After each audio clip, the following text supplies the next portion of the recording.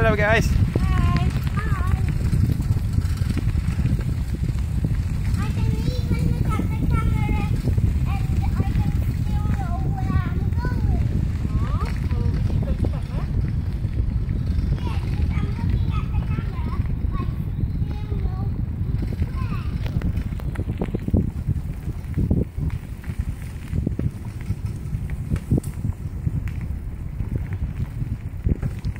You like long ride bikes, actually?